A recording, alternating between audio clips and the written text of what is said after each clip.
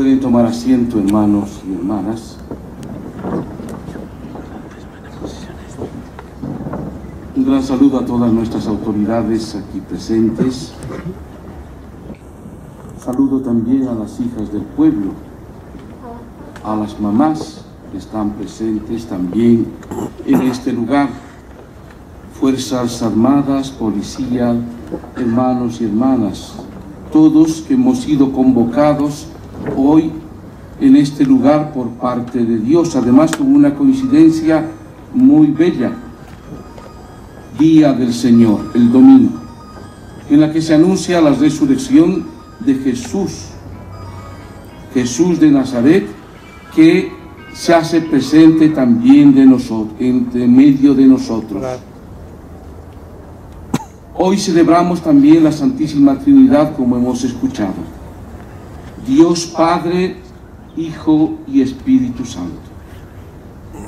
La Trinidad del Amor. Dios mismo, en realidad, aunque no es definible, podemos decir que es, es amor. Si Él pone un nombre propio, diríamos de Dios mismo y su presencia, es esta unidad del amor de Dios presente ya en la Santísima Trinidad y que se hace visible, palpable, histórica, diríamos así, en medio de nosotros. Por eso, si hemos escuchado la palabra de Dios atentamente, el Deuteronomio, aunque no es un libro histórico, está hablando de una reseña histórica y del modo de Dios que está presente en este mundo y en esta historia. La forma de ser de Dios es siempre misericordiosa, amorosa, que construye un pueblo, que libera a su pueblo, lo conduce por el desierto, lo lleva a tierra prometida y lo hace un pueblo próspero. Este mismo modo de actuar de Dios en la historia está presente entre nosotros.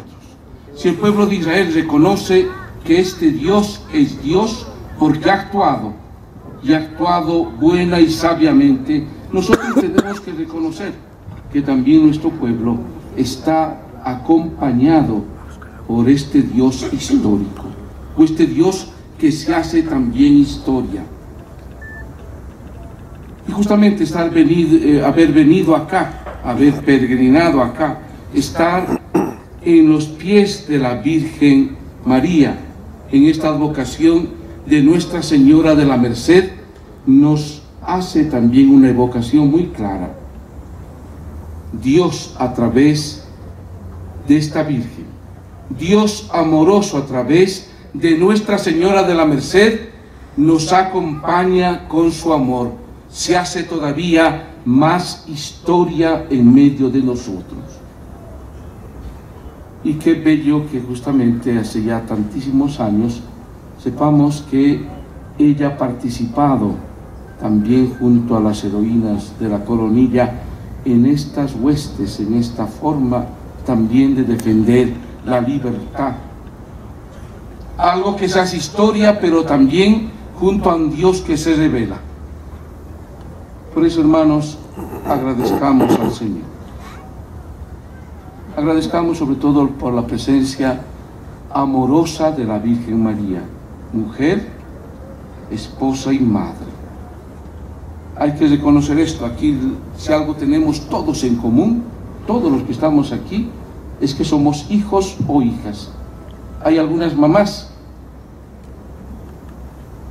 pero todos, absolutamente, somos hijos o hijas. Por tanto, agradezcamos en la imagen de Nuestra Señora de la Merced, en la imagen de nuestra mamita, de la Virgen María, agradezcamos por este amor grande de Dios en medio de nosotros, manifestada en la Virgen, pero manifestada también en nuestras mamás, y por qué no decirlo, en las heroínas también de aquí de la coronilla.